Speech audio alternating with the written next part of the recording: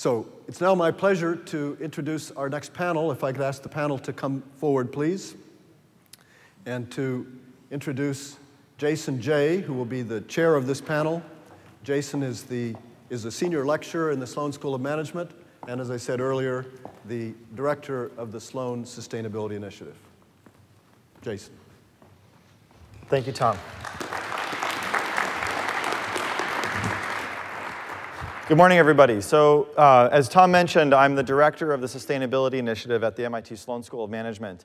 Um, and what we do is we engage our students and alumni, our faculty and researchers, um, our allies in industry and government and NGOs as a community of innovators for sustainability. Um, and part of that work is a stream that we call Climate of Change, which is all about broadening and deepening engagement around climate change in order to drive innovation in this space. Um, and our collaboration with, with the Center for Collective Intelligence and the Climate CoLab is an integral part of that work. So I'm very excited to be here. I'm very excited to see how this whole community is developing and this, uh, this whole platform is developing.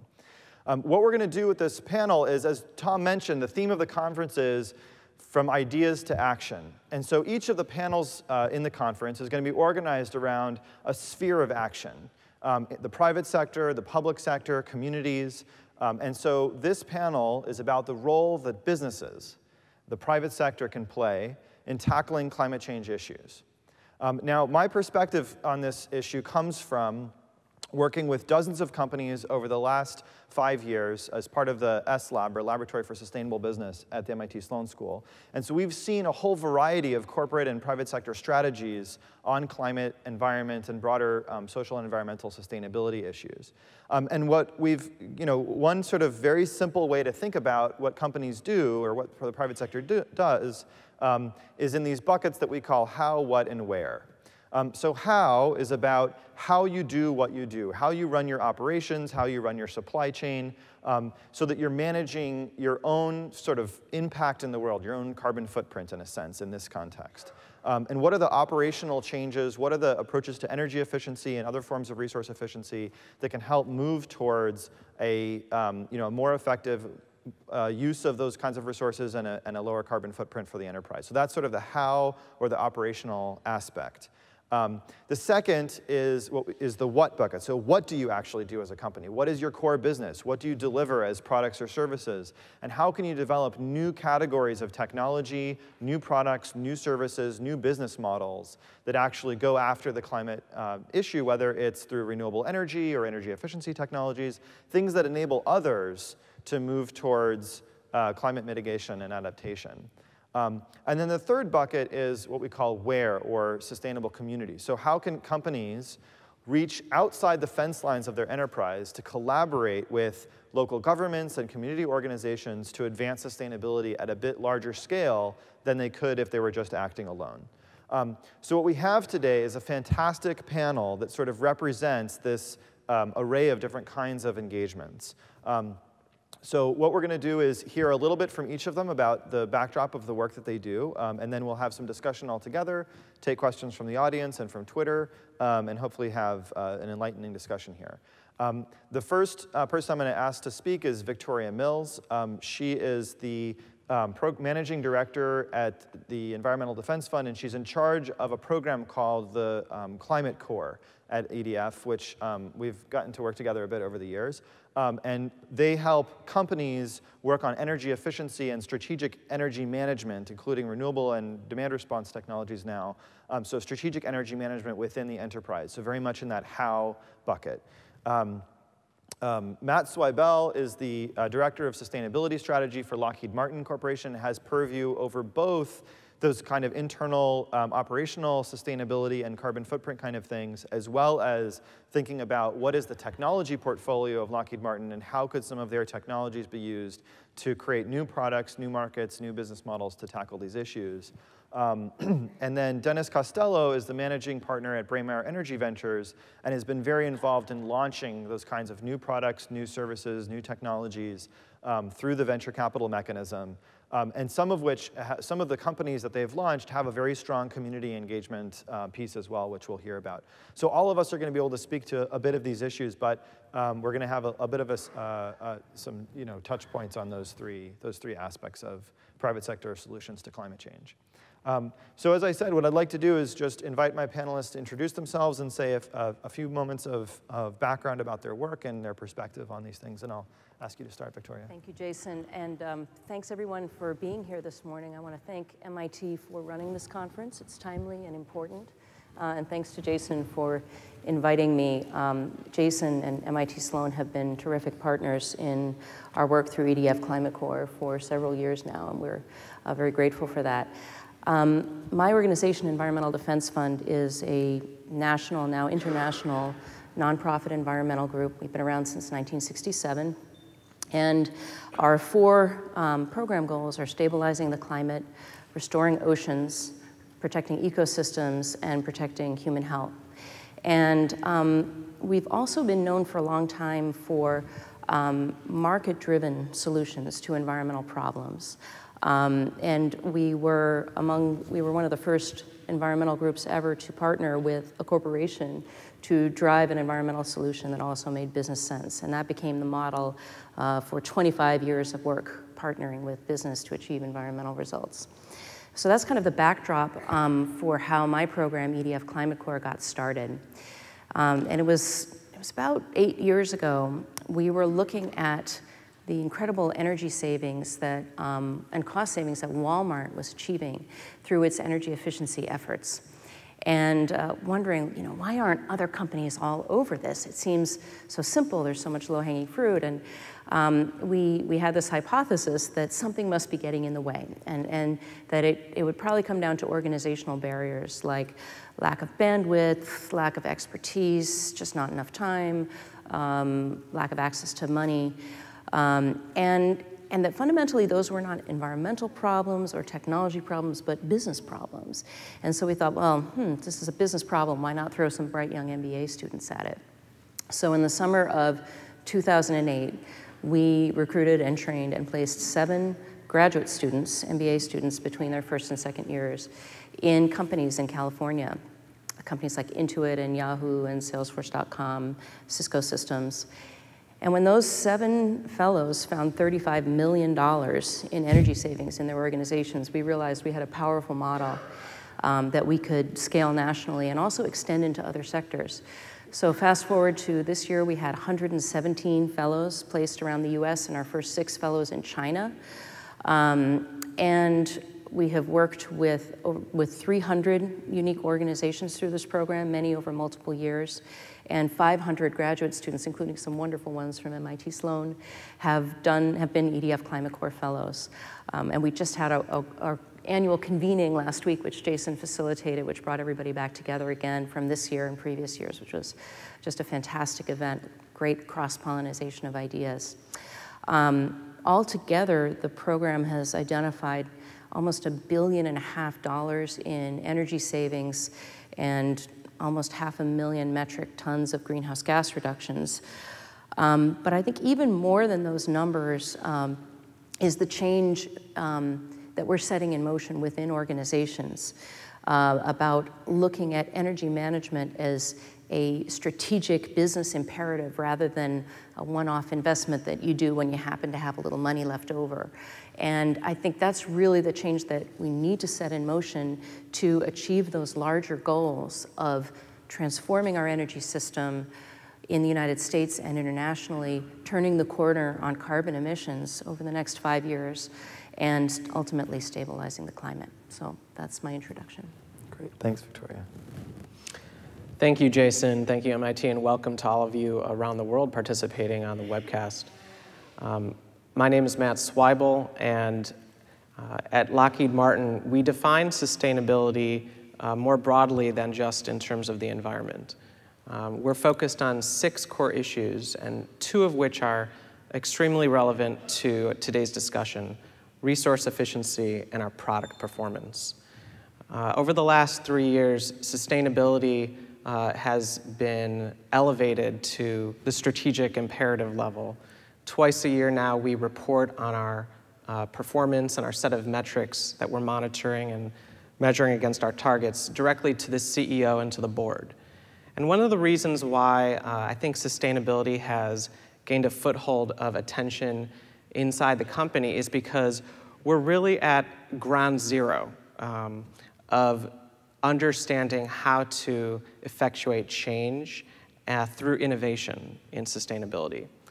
For those of you who aren't aware, what Lockheed Martin does, uh, we provide uh, more than 80% of our goods and services to the federal government across five different business segments.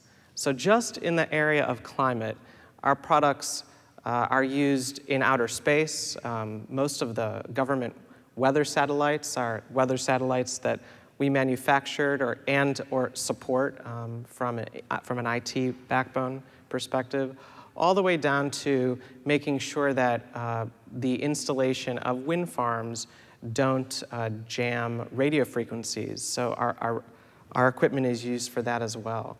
And sort of everything in between, almost at every different elevation, we're actually working on an infographic for our next sustainability report to, to help um, all of our stakeholders understand, you know, from Mars to uh, under the ocean, there's Lockheed Martin technology and innovation ultimately informing uh, stakeholders of how to make better decisions. So um, I, I, I, think that today we'll, we'll talk a little bit more about how and what at Lockheed Martin um, and, and what, what we see maybe uh, as opportunities. Uh, briefly, in, in 2007, we did set a five-year uh, goal for energy, waste, and water reductions in absolute terms. We achieved that goal uh, um, six months early, and so in uh, 2013, we set a new goal against a 2010 baseline going out to 2020. That's, um, that's, that's sort of difficult to do in a business where you're typically um, working against three to five year business planning cycles. Uh, but we are committed to reducing um, our energy consumption by another 25%. Um, and just to give you a sense of what that looks like, in Fort Worth, Texas, uh, where we manufacture the F-35 Joint Strike, Joint Strike Fighter, that plant is 8 million square feet um, altogether. Seven of million of the, that is air conditioned. And so when you think about what's required um, and what we've achieved thus far, our energy budget um, has been unchanged for over 20 years. We spend about $20 million um, to, on energy there. We're able to do that because of all the, in, all the efficiencies we've been able to realize um, over the last two decades. Uh, small things and big things. And, and that's, that's what I'll leave you with. It's going to take small steps and systemic efforts uh, in order to really uh, leave a lasting impact. Thanks, Matt. Dennis? Thanks, um, and I'll join my welcome to everyone. Thank you uh, for, for being here and, and listening in or, or uh, being here virtually. Uh, my name's Dennis Costello. I'm with Braemar Energy Ventures. We're a venture capital fund, kind of the other end of the spectrum from, from Lockheed Martin. Uh, but we, we deal only in energy. Um, and we, have been doing this for quite a while, and, and my, uh, my background has been uh, actually working in energy since, since the 70s. So, so it's been a long-term interest uh, what, uh, what Braemar Energy Ventures does, which is, I think, in an essence, I mean, if we talk to our limited partners, our objective is only one, it, kind of unfortunately, which is make money. If we don't make money on our investments, then we're not around to make more investments. So, so uh, at one level, you know, it's a fairly si simple idea. At, at another level, I mean, what we're really trying to do, and the reason we focused on energy for so long, is that we think that with the help of, of, capital, you can use capitalism to actually uh, have an impact on, um, on climate and, and, on the environment. And, uh, and what we see by doing this for so many years, just to give you a little more background, we were the, uh, the lead investor in, in locally, which has been a huge success, one of the most successful companies publicly in that area. We've also been involved locally in, in uh, companies called Luminus Devices, a lot of LED companies. We were in A123, the battery company, which had uh, ups and downs, uh, and, and also now more recently in Next Step Living, which is, we'll talk about that in, in a minute. But we have about 40 companies in a portfolio. We manage about $600 million. Uh, we, about 65% of our investments are in energy efficiency of, of one form or another, which takes a lot of form. And, and the remainder is in both, uh, both fuel and electricity production, but also chemicals and related. So, so, so it's, um, it, all deals with technology. That's, that's the underlying theme.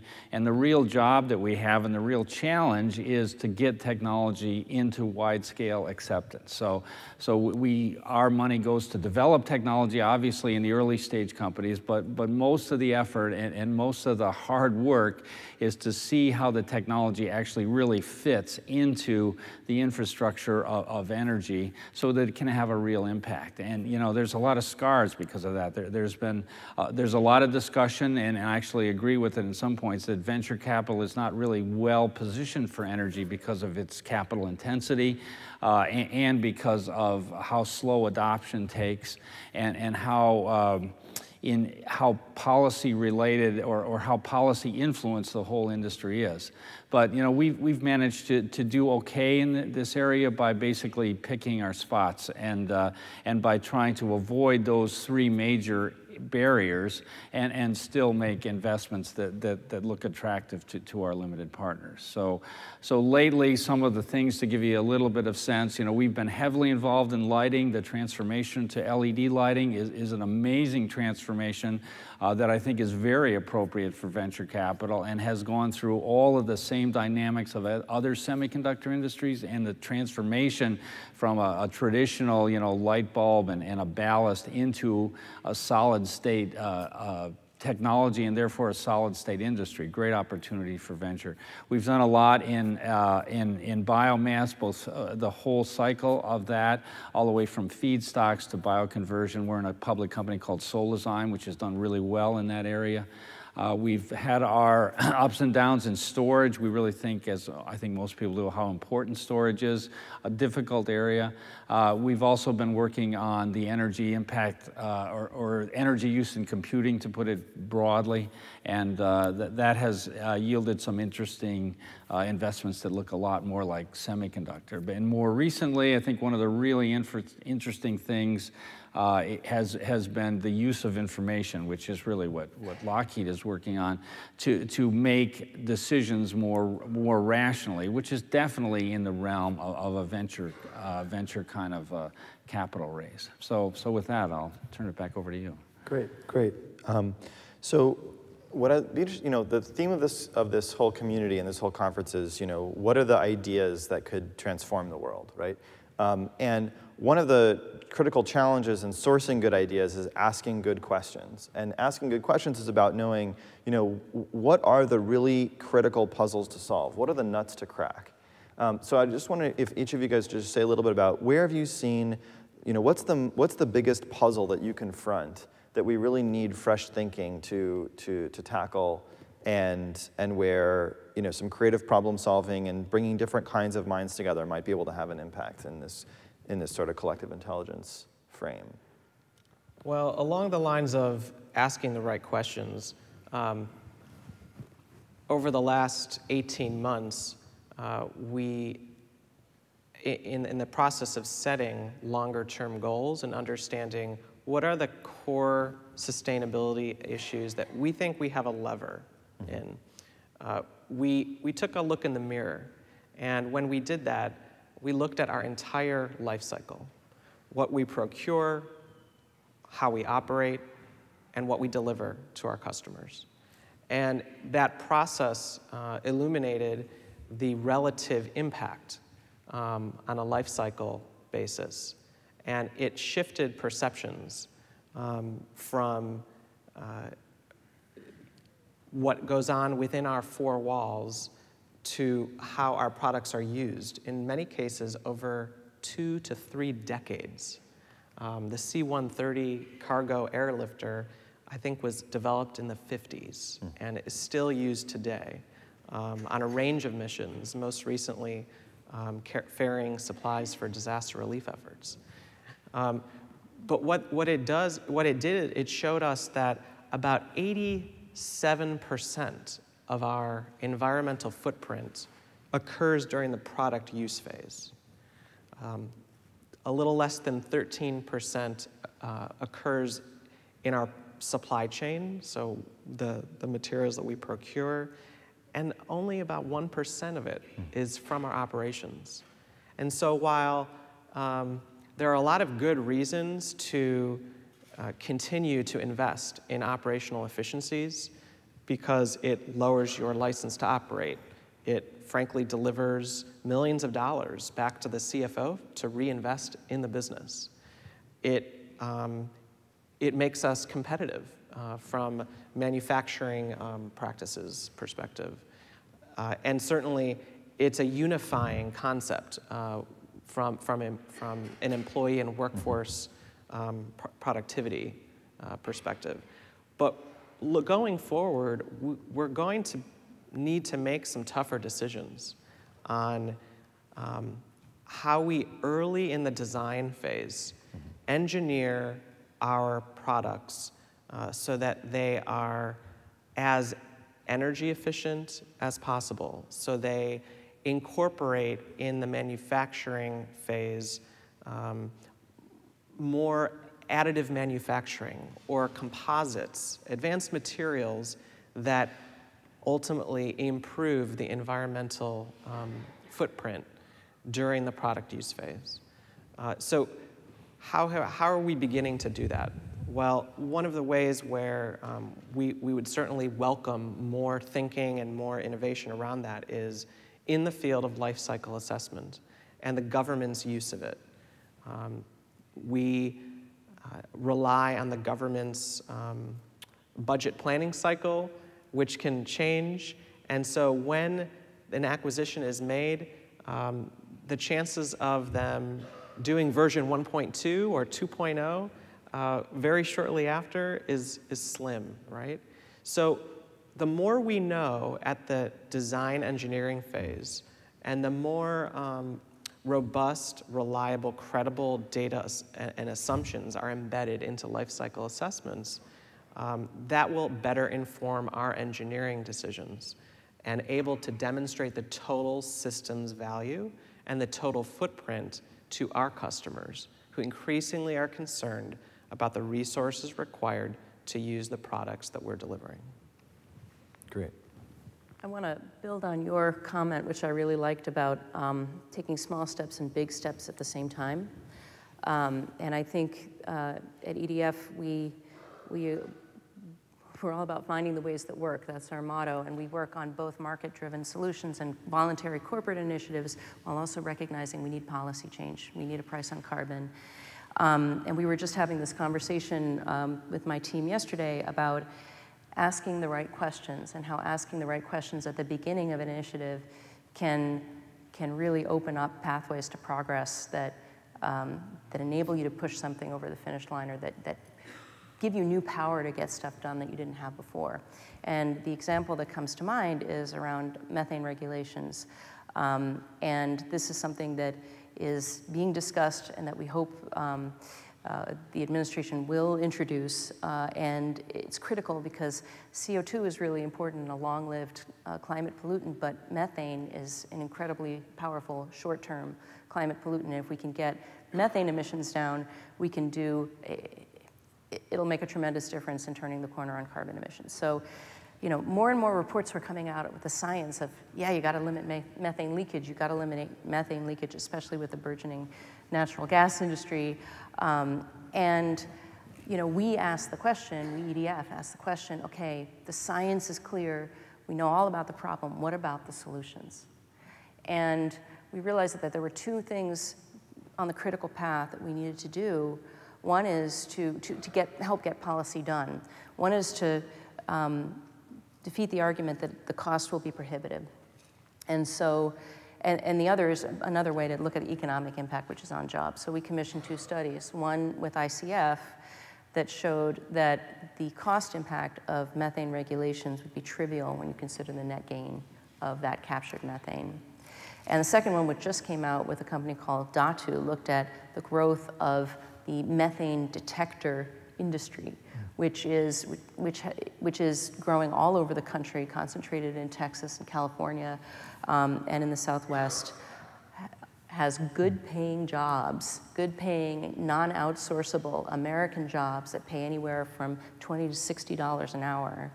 And we showed the economic benefit of supporting this industry through methane regulation. So we hope that these will be two key pieces of the puzzle in getting the big change done that we need to get done. And um, you know, I think we'll see how it plays out, but I think you know, good strategy is common sense in retrospect. So, but I think if you can ask those questions in the beginning to open up what are the possibilities, that enables you to find the most important leverage points in solving a problem. Mm -hmm. And when we're talking about the sort of, you know, the private sector solutions, I mean, I'm thinking about, you know, the investment that can happen in the methane detector technology, in the service delivery enterprises, and all of that can, that can happen. But what you illustrate is that a lot of times the markets for these technologies are created in policy. So the boundaries between sort of what's a public, what's a private sector action and what's a broader, you know, coalition strategy is very fuzzy in this whole space. Yeah, and, and it's a chicken and egg too because the industries spring up in anticipation of the policy, and by bringing their voices to the policymakers, you can make it safe for those policymakers to vote in favor of something mm -hmm. that supports them. Mm -hmm. Yeah, I mean, I, I would kind of uh, take two ends of the spectrum in terms of ideas. The, the, the first is uh, to look at new kinds of business models where we're really rearranging the efficiency of the assets we have. I mean, you know, great, great current examples, I think, is Uber. Frankly, uh, an investment we, is not ours, or, you know, have a bigger boat.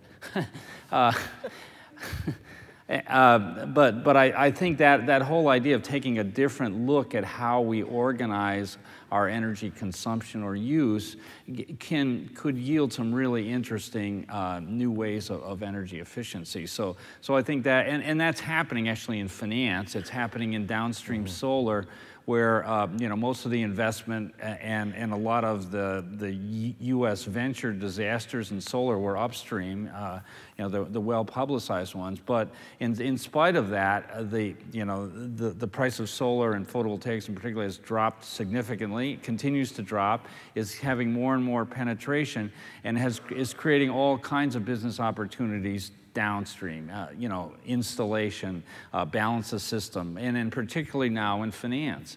And, and, so there are some new business models being created in finance to make, to, to get over that initial cost barrier, which comes back to life cycle costing, right? If you don't have to worry about it and, and your, your financing vehicle takes care of your life cycle cost analysis, then you can make a decision based on first cost. So, so I think those are some ideas near term and so you think about like power purchase agreements, yield cos. Yep, all, okay. all that okay. stuff. Yeah, and, and I think that is that market is developing very rapidly, and and that is now going to. I think that's going to be a commodity very soon, which is terrific for for the industry and for the climate. You know, for uh, trying to build a unique business out of that is, is probably more difficult, but but you know the you know it will happen. It is happening. So so that's an exciting area. But, there, but there's another answer that, and, and, and I, I think, you know, in, in a way, uh, the NGOs and Environmental Defense Fund is trying to do this, but what we really need is, is a sustained recognition of the problem that, that uh, you know, uh, on maybe going through too, too many cycles, uh, you know, we are now, in, from the venture perspective in energy, you know, this is a down cycle. Venture funds that, you know, had large amounts of money for energy and venture funds that were more general were putting money into energy. That has really dried up, you know, and it partly is a, a, a result of the, uh, of the problems that were in, in, in storage, you know, in terms of business problems, and, and, and in solar. So, so there's been a real retracting of, of capital, private capital and venture capital in particular, uh, from energy. And, and those kind of sites, and I think it'll come back, you know, it, it, will come back. You know, there'll be some success. We have Nest, we have SolarCity, there's some really nice uh, Lumenpulse. There's some nice IPOs that have happened. Uh, so that'll bring uh, money back, but that's a cycle that's like three to five years. And, and if we could avoid those cycles uh, from, from both a policy perspective and from a, from a capitalist perspective, by somehow bringing the awareness uh, of, the, of the population to, to a point where you, you, you can have some continued progress, because, you know, I, have you know, and I guess it's, uh, one of the aspects of being older, but I, but I, I saw the solar uh, movement in the 70s and how, you know, it really took off. We, we were going to be at $2 a watt in 1982, you know, for a system price. You know, we're kind of there now. It's a little delayed. Uh, So, uh, but if, you know, if those kind of efforts could be sustained both at a policy level and, and a corporate level, large corporation, you know, it would just help build that entrepreneurial community, I think, that could have a bigger impact. So, I, I think that systems thinking, right, is, is the holy grail because if you look at the adoption of renewable energy in the US, um, I think that most people in this audience would say that's, that's a really good thing. It also presents um, serious risks and integration issues with our existing energy infrastructure. And so, if, if we're going to ask the right questions, um, it, it, I think it helps to have more systems thinking, and, and it echoes the point you were making also, Victoria. Um, we've been talking also domestically.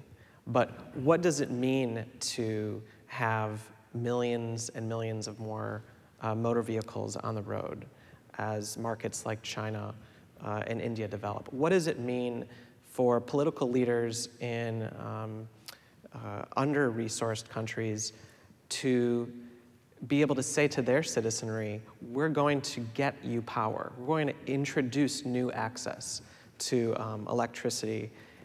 Th- those are uh, for a lot of good reasons, um, those are trends that will occur. The, the probability of those events happening are very high.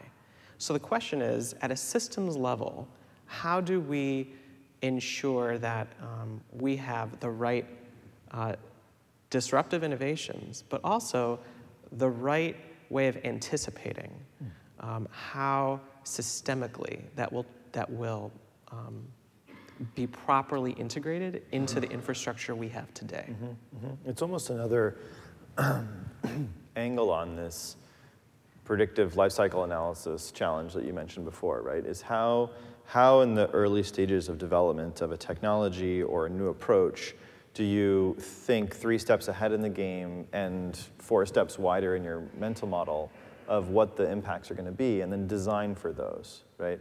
Um, so that, that sort of sustainability informed innovation or climate informed innovation process, which you know we're working on here, but but is but is something that this broader community can be can be thinking about. Yeah, absolutely, absolutely. Um, I think this is a good moment to take some questions from the audience. Um, so uh, let's see, what I'd like you to do is, if you have a question, come line up at one of the two microphones here that are in the aisles, and then that way we can capture them for the online community and, uh, and record them uh, and, and, make sure to all be able to hear them. And I'll, I'll alternate between sides. Um, so go ahead. Thank you all so much. Uh, this is a terrific start uh, to this conversation here.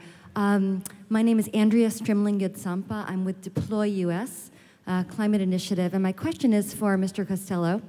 Uh, I'm really uh, captivated by your vision of sustained investment in energy and what it will take.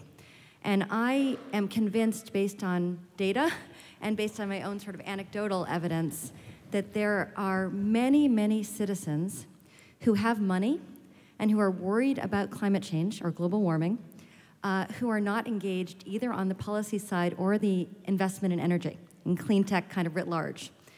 So the question is, what are our opportunities to bring their energy, uh, their concern, and their money to the table uh, in a much more robust way, both as a means of financing the innovation in new technologies and business models, but also as an on-road to, uh, or an on-ramp to deeper civic engagement on the policy side? Those questions, they, they, are, they are very difficult, but, but it's, it's very true. I mean, I, I think it actually starts in, in, in, in their individual lives, and I think that's the way to start engagement. And uh, uh, it kind of bring, we were talking about this before, but we have a new investment, not, not, not to plug it, but called Next Step Living, which is trying to get res, doing residential audits, first in Massachusetts, now in Connecticut and in New York. And, and they do the audits and then they, they, they are become an advisor to help you decide is solar good, good for your house? Would just, would just better windows work? Is insulation the answer? And uh, it, it's, a, it's amazing that you are with uh, households that, as you say, can afford this, are really interested in energy, but really don't know what to do. So, so I think business models uh, can be uh, con constructed, which actually, you know, activate that. At, at, so I think that's where it starts. So just giving a little bit better information that's very specific to your life, your lifestyle, your home, what, what, your car, whatever, is, is one answer. And then I, I think the bigger answer is there, are, there is room, and, and I don't have a good construct for it, but I think there was room for collective uh, of funding of, of energy in a different aspect. I mean, venture capital is very traditional. We go to institutions, we go to pension plans, they, they allocate 3% of their funds to alternative investments. Of that, energy is one, of that, you know, venture is one. So, so you know, we've, and I think this has been uh, started and done a little bit with crowdsourcing. Uh, I think that the scale of that may be way, you know, too small, frankly, for the, the significance of the problems we have. But, but I think coming up with some new models to, to, for, for people to actually have a sustained real interest, economic interest in change would, would be great. But beyond that, I don't have anything yeah. specific. And, and we've seen you know, some interesting developments in the crowdfunding space, like with the jobs bill and you know companies like WeFunder and others being brokerages for crowdfunding yeah. of startups. Yep. But yep. but your sense is that at the and that's that will grow over time. But your sense is that the scale of that total capital marketplace is still small relative to the ener- to the capital intensity of, the, of energy.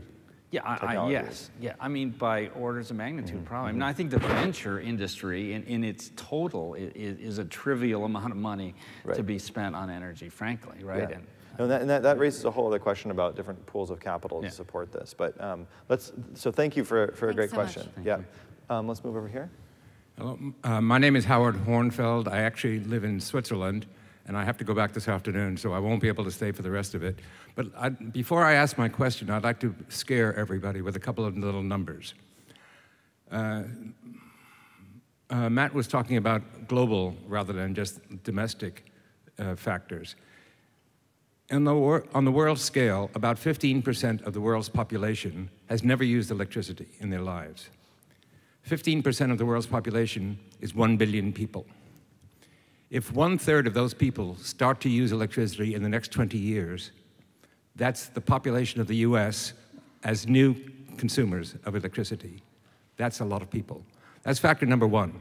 Factor number two, there is also about 1 billion people whom the United Nations says live in urban poverty around the world, Calcutta, places like that. When they start moving from being poor to lower middle class, the first things they're going to want are refrigerators, electric cookers, telephones, computers, and so forth. Air conditioners. Sorry? And air conditioners, especially if they're in hot climates. Yeah. Right. In any case, they will want electricity. So people in the urban poverty sector who are 1 billion people. If, again, one third of those in the next 20 years move from poverty to lower middle class. That's again, the population of the United States doubled as new consumers of electricity. And the third factor is the electric car, which takes a lot of electricity. Where are we going to get it? The answer is, and there is only one answer, and the answer is fusion energy. Now, I know that people say, oh, we'll have fusion energy in 20 years and always will, or something to that effect. That's no longer the case. We really can. So make... I'm going to have to ask you to move towards a question. Okay, the question really is to Matt. Uh, at Lockheed Martin, you have recently announced through the Skunkworks uh, operations a fusion device. It's not the first time you did it about a year ago, and you did it again about two weeks ago. Can you tell us anything about that? The skunkworks device so, is a yeah, fusion so, so, device. So this is this is great. So for, so for the further for the further questions, I'm going to ask for the ratio of question to commentary to be a little bit higher. But I, but setting this stage, setting this context is really important. So I'm glad we did it. But let's get to the fusion. Well, it was a very interesting experience. Um, I think I posted on my LinkedIn feed um, after there were, you know, any number of scientists uh, around the world who, uh, because they hadn't seen all the data and hadn't been in, personally invited into the lab so that they understand the technology, which obviously we're not going to divulge um, you know, in a public domain. It couldn't be possible, right? And so my, my uh, post to LinkedIn was, anything wrong with aiming high, right? That's what skunk works. Um, that's what their DNA is. Unfortunately, I have to plead a little bit of ignorance, but it's genuine ignorance uh, in that I'm not an engineer. So I'm not going to be so bold as to come to MIT and describe to uh, this community the engineering principles behind our compact fusion um, lab experiment and development at this point. But I can tell you that um, the principles behind it uh, are in the public domain. Um, the, what we did is after um, we, uh, we had our initial uh, media coverage about it is we had our chief technology officer, Ray Johnson, and some of the engineers who are working on the um, compact fusion describe a little bit more of the principles that are behind it. Um, I think that they, they see the horizon as 10 years, right? So in a decade, is there something that can be demonstrated um, at, a, at a reasonable and meaningful um, level? I don't think that it is going to be a one-stop shop. I think that in order to address uh, the trends that you cite, we are going to need all hands on deck. We are going to need a diverse um, source of energy that is geographically relevant, that, is, that works for the community. Uh, and some of the trends uh, that we're seeing today, they might morph. So it, it may be more realistic from a life cycle perspective if we want to reduce GHG to have more community-based solar or industrial solar than to have um, the, the, fabrication so that every single rooftop around the world has its own pa mm-hmm. panel. I think that you're going to see um, disruption continue, um, but Lockheed Martin is just as invested in nuclear energy, um, which in the United States and in China is going to be a very big um, factor. Uh, we're not you know, putting our eggs in one basket, so to speak, in compact fusion. Our, our friend Drew Jones at Climate Interactive often says that about the energy system based on the modeling, computer modeling work we've done is there's no silver bullet, there's silver buckshot. Um, to use a sort of you know hunting metaphor. I, it's worth noting that we, we, have an investment in a fusion company too, by the way. So they called General Fusion. So yes, uh, it's it's uh, it, it, we, we can tell you how difficult puzzle. that I mean, so I'll, I'll, I'll, put in a plug for something that, um, that's part of our, our effort here at Sloan is um, we've contributed to a model called En-ROADS or En-ROADS um, which has actually been used in one of the climate um, CoLab uh, contests, and essentially allows you to explore different energy mix scenarios under different policy assumptions. And one of the things you can do in the model is you can introduce new tech. And new tech is a technology that has you know, zero carbon footprint and is cheaper than coal. So it's sort of the hypothetical kind of thorium or fusion or whatever you want to think about. And the interesting thing about it is that it does not solve the problem, right? It still takes time to ramp up. It still has a development cycle. Um, it, it, it, by lowering the cost of energy, it increases consumption slightly, so you have to deal with those rebound effects. Um, and so it's, a, it's an absolutely critical piece of the puzzle if you want to try to get emissions to where we need them. But it's very much a silver buckshot strategy that, that, that emerges out of that. Yeah, and along the way, we're going to have to come together as a community um, not just a community of businesses, but of government and NGO to evaluate what does it mean to bring online new energy sources. As an example, we are working um, with a Chinese real estate development company for um, ocean thermal energy conversion technology. And it's great, clean power. Um, the technology behind it is actually a few decades old by now. Um, one of the things that it does is it converts the um, temp temperature differential in ocean, uh, different depths, to convert it to electricity. Well, when you're sending, um, sending, in order to make it operational, you're going to need a certain amount of chemicals. Um, we want to make sure that we do things the right way so that when it's online, um, all of the informed stakeholders on the from the environmental um, footprint know what is the risk and what is the opportunity.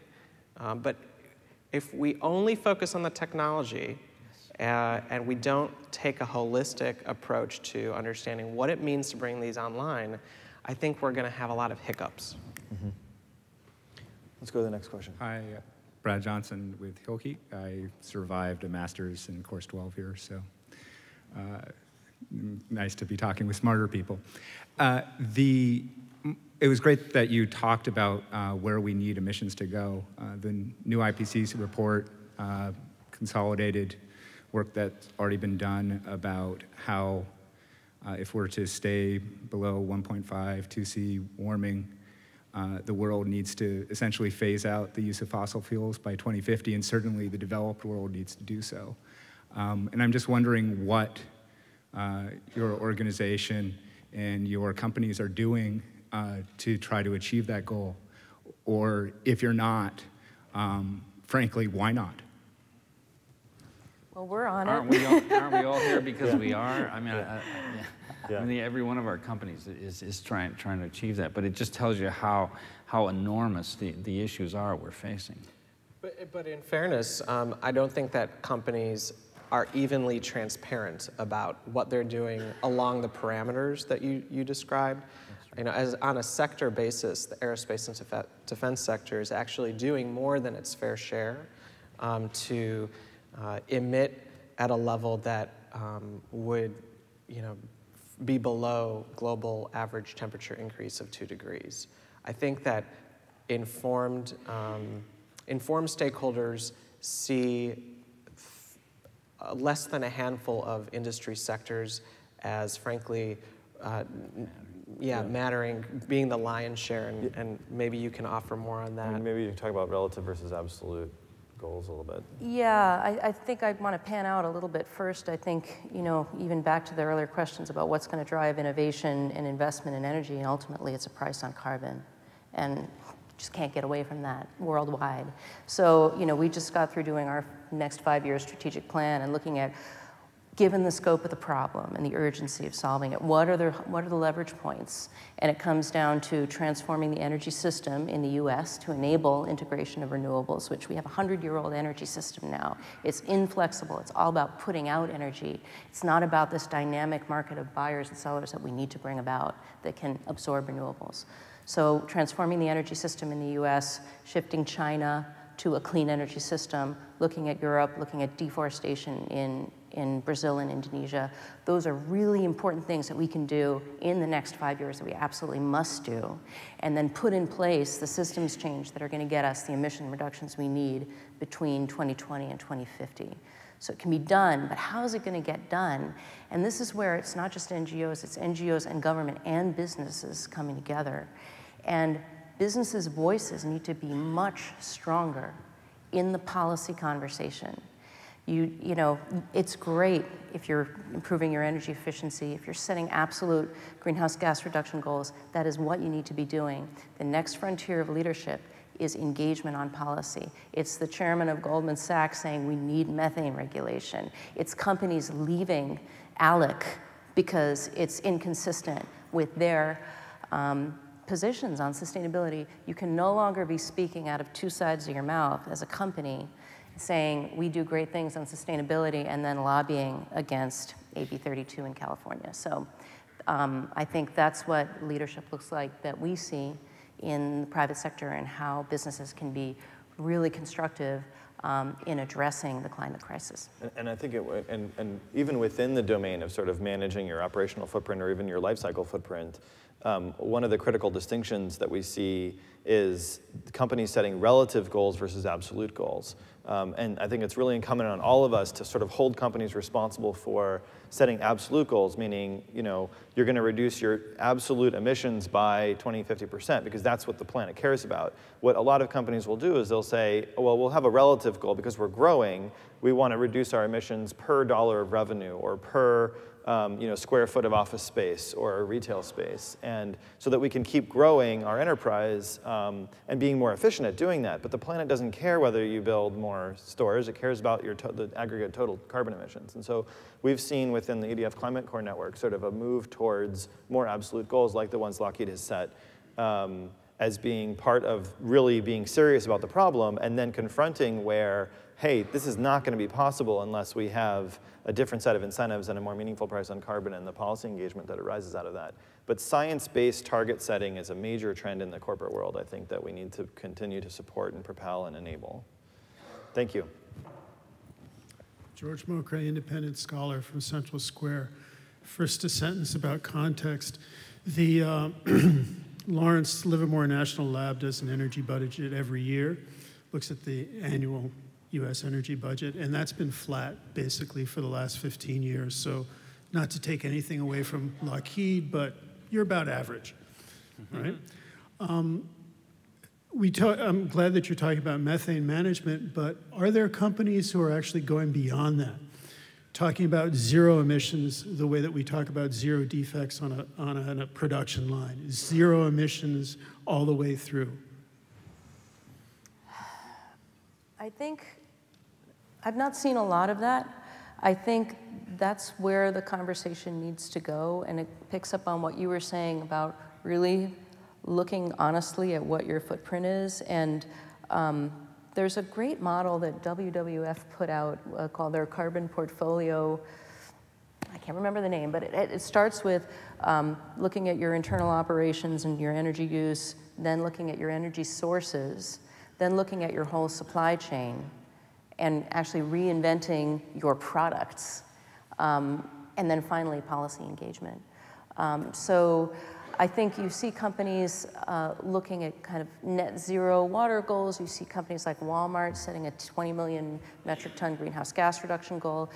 I think the zero, the, you know, going for that aggressive goal as one company needs to be balanced against what's the benefit of that and will the planet notice that versus your ability to play a constructive role in a systems change, like a price on carbon, that can make that um, get everybody on board. Mm-hmm. So in a sense, it's about the system boundary of the net zero, right? So you could have a net zero building, but people would, or you could have a net zero enterprise, or you could be contributing to a net zero city or a net zero society if you could work on that policy stage. Yes. Yeah, yeah. I don't think I've seen whole companies. I mean, through carbon offsetting, I've definitely seen people say we're going to be carbon neutral, um, and by essentially buying offsets for the um, emissions that they can't reduce. Um, but I would say that that's sort of fallen out of fashion in the last few years as people have said, hey, wait, if we can get, if we can save, you know, $35 million within our enterprise on energy efficiency, why would I pay for those offsets outside of my enterprise where I have less control of it and, um, you know, uh, may or may not be, be sort of you know well well governed and so on. So I feel like I've seen a trend more towards just kind of you know absolute reduction goals that are in the you know 20% range um, within the companies that I've encountered.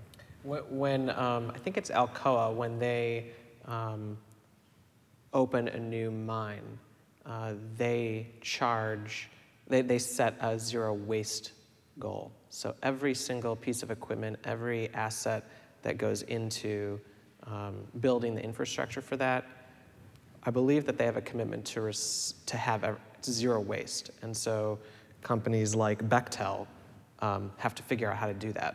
Mm-hmm. Um, so I think that, that that's one example that's related to what you're describing. Also, DuPont, zero defects, zero injuries, yes. zero emissions. Whether yes. that's real or not is another question. But. Yeah, yeah, yeah. Um, are there any, uh, I, I, were we supposed to be taking questions from the online community? We're good? Okay, good. Um, so, and are we okay on time to take one more? Great. Two more? Okay, great. So let's take one from over here. Peter Joseph from Citizens Climate Lobby. Uh, we're in the U.S. carbon price contest, the little engine that could carbon fee and dividend. So incredible discussion, and there's a lot of systemic thinking represented on this stage. It seems to me that the problem, though, is the system in which you are functioning, in which carbon pollution is essentially free, right?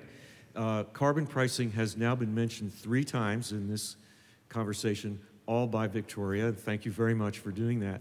so, my question is what is the best way to steeply ramp up the financial incentives for all of these companies to send the strongest possible price signal that is going to function in parallel to the other curves that we're seeing, like from the IPCC with temperature, greenhouse gas emissions. Civilization has to respond in a parallel way. How do we ramp up those price signals uh, most advantageously, considering the public's attitude and the current political environment? And our proposal, by the way, is to give all the money raised by carbon fee back to households so they can afford this fee. And I know there are other yes. proposals out there. So, what is your opinion, and how would your lives change, your work change, if you were functioning in an environment where there was a steadily rising, totally predictable, steep price signal on carbon? Thank you I can't. My life would be tremendously better because all my investments would be looking uh, a, a, lot better. So, so you know, I, I definitely. You could finally know, buy that yacht you wanted. Runs it would be a bio- sailboat, by the way, yeah. just just to be clear. Uh, uh, right. No, no. You've got biofuels in your portfolio. So. Yeah. Well, we yeah just for the air conditioning. Uh, no, I mean, I, I think that, that, I mean, I haven't said it, but, but obviously a, a, a price on carbon, I mean, it's, I'm economist by training, so, so obviously there's a free good out there, and that is the ability to push carbon in the atmosphere, and that is, you know, I think most of us agree is, is at, at least one of the core issues here. Uh, ways to get around that, I mean, it would be interesting uh, that, that, that basically, you know, come off as that with offsets or whether it's a reduction in corporate income tax, which has been mentioned, you know, along with, with a fee for, for carbon. It differentially Im impacts uh, di different sectors of, of, of, industry. But, you know, unfortunately, when, when I look back at, at the venture deals that I've done that have been a success, that we are focused really on energy efficiency in particular. The ones that have been the success have been those that there was some other feature, uh, this is really unfortunate, other feature about the product or service they offered that went along with energy conservation or, or energy efficiency and uh, helped to pull the day. So, so look at LED. I mean, LED is a huge success uh, as an industry. But how did LED get started? It wasn't people saying, you know, I'm going to save 90% on my electricity for that light bulb, which is true, by the way. I mean, the energy efficiency is amazing.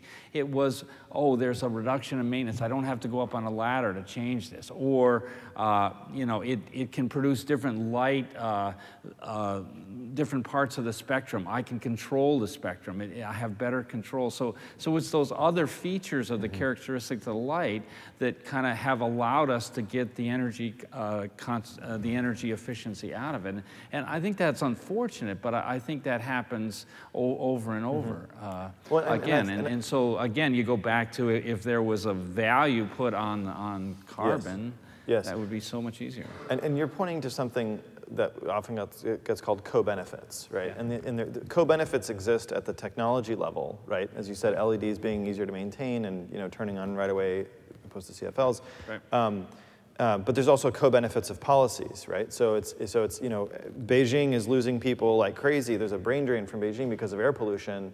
That is a selling point for a policy that's going to have those kinds of co-benefits. Um, and so I, th I, think that that's, you know, as well as the, you know, how would a dividend in your pocket feel and how would a, you know, a boost to your investments feel, I think that's also a key part of the selling process and the engagement process around these things. So yeah, we need a price on carbon. How do we get one? I don't know how to get one and without policymakers. Who do policymakers listen to? They listen to their constituents. Who are their most powerful constituents? Major employers, entrepreneurs, corporations. This is about expanding your sphere of influence beyond your fence line. And I think, um, you know, if, if, it is in your interest as a clean tech entrepreneur, as a corporation that's making um, the, the most innovative technology that's out there at, at all levels of altitude and, and undersea, um, and really anybody who is participating in the economy to be thinking about ways that they can be talking to their elected representatives about the need for a price on carbon. And I think, you know, ultimately, we would like to see federal climate legislation in the next five years. I think, um, given the results of the midterm elections, um, it, it's going to be, we'll have our work cut out for us. Um, EDF is rigorously nonpartisan, but we are looking at, you know, the number of politicians who are hostile to climate action as opposed to open to it, and you know that's a reality we have to deal with. We deal with who's in power. Um, but I think it's, it's imperative to, to not just stop at your business, but to think bigger about what your business, what will make your business successful, and talk to the people who can bring those policies about that create the drivers mm-hmm. that enable your business to thrive. That's true internationally, even more so than just the U.S., right, in terms of that. Matt, did you have something you want to add? Well, in terms of you know how to get there, I think that there's I think there's an underappreciated um, willingness to, from, from the private sector to uh, look at the, the topic within the context of corporate tax reform. Hmm. Um, and, you know, one interesting fact is um, a, some, depending on how it's implemented, but, you know, carbon tax can be an excise tax. And so, in, in, for, for example, in the aerospace and defense sector, an excise tax is something that is ultimately um, going to be a, a, cost that could be passed through and borne by, by the federal government. So I think it's a question of um, less, uh, less rhetoric around um, that less rhetoric that divides and more thoughtful discussion on, okay, well, is, is, that, is, is there something we can pursue um, that's part of a bigger agenda? Mm-hmm. Um, I think that there's an underappreciated willingness from the private sector to, mm. to have that discussion. Could I Great. build on that just really quickly? If you look at companies, um, often it's hard for a corporation to come out and say, we want a price on carbon. That's political, it's scary. Um, if you look at companies who just came out with the corporate renewable energy buyers principles, it was uh, convened by WWF and WRI, and you have companies like Sprint, um, other major corporations saying, we want to be able to buy more renewables. This is, these are the policy barriers that we're running into. We'd like to eliminate these barriers. That's incredibly powerful. It serves the same objective um, and is another constructive way to participate in the necessary transformation of the energy system. Um, it's not necessarily going to Capitol Hill and lobbying with your flag, but love for you to do that too. But there are many ways to engage, like Since you said. Your organization has a global perspective. Do you do you actually see more of a likelihood of uh, something parallel to a carbon tax or a price on carbon um, occurring in another significant international market that actually might leapfrog um, the US just because of entrenched positions and the persistent um, sense of urgency around pollution in places like China? We see it happening in China. I mean, there are carbon trading right. systems in regions in China. Um, because they're so big, they're, they're bigger than what's happening even in the US. I think the Global Warming Solutions Act in California, we're seeing that working really well, and we're hoping that that could be the model of what could happen in the US. Mm-hmm. There's a system in Europe that exists that we'd like to see expand and deepen. So I think the models are out there, but it's about bringing the success stories to the surface and sharing them. Let's take one last question. I'm going to ask you to be very brief in both the question and the responses so we can get it in here. The IPCC, which is unfortunately the lower common common denominator of the science as a result of political pressure, has said that even if we were to reduce and eliminate emissions, we are still dealing with climate processes that are raging out of control. We don't even know what they are. Maybe we're seeing today what we put out 20 years ago. I don't see along the lines of the economy is a wholly owned subsidiary of the environment. You were there when, when Gaylord Nelson said that, Dennis. I don't see any of that in your, in your equations. In terms of climate momentum and adaptation, or how? how climate momentum far exceeding the solutions that you're suggesting. Mm-hmm, mm-hmm. Right, and the urgency of it. That's yeah. right. Yeah. I mean, our, our, our work is based on what it will take, what the science tells us is needed to stabilize the climate. We have those targets in mind. Um, I think, it, you know, it's, it's really scary, but we can't stop what we're doing. I mean, it's far too late for pessimism. I'm not, I'm so, not suggesting that, but what you're calling the science is very different from what you hear when you sit down with a climate scientist who is not at the moment in the public eye and what they will tell you. Mm-hmm. This is not any, just an emissions problem. Yeah. It is far beyond that. And yeah. So, so, uh, so let's open. So let's open it up for just a minute um, to talk about sort of private sector responses that are more in the adaptation and possibly geoengineering spaces, which I think will address this, and, and then we'll then we'll wrap up. Well, I, I, there's there's two responses. First, uh, I I think that the, the, the, fact that the problem is, is bigger than is being realized really, really doesn't uh, negate the, the need to do what we can now within the resources we have. So I, doesn't, I don't think it has, a, has an impact in, in what we're already doing. Uh, but I, I, do think we, we are and have to talk about at, at a, you know, adaptation to, to the change that is coming. So, so I, I fully agree with you. Uh, we are all kind of limited by you know, our, our own spheres of, of influence and our, our own business. But, you know, as, as we keep saying over and over, I think energy is not a technology problem, it's a social problem. And, and that, that's what we, we have to deal with. And, and until there's a broad awareness beyond small communities that, that this problem is, is so massive, that could lead to, to the social change that, that it would really take, you know, uh, to, to see the massive change that you would need. If, if um, what you're suggesting is that in addition to contemplating technologies that are focused on air emissions or um, energy related solutions, that we also need to prioritize climate resiliency um, opportunities, meaning we might not be able to chase the targets uh, soon enough. And so we've got to be able to be as prepared as we can to deal with the world we have. Um, I think you're spot on. Uh, our, think about um, the US Navy or allied mm-hmm. navies. Mm-hmm. What would rising seas do to their ports where their operations and their, um, their sense of preparedness and security lay?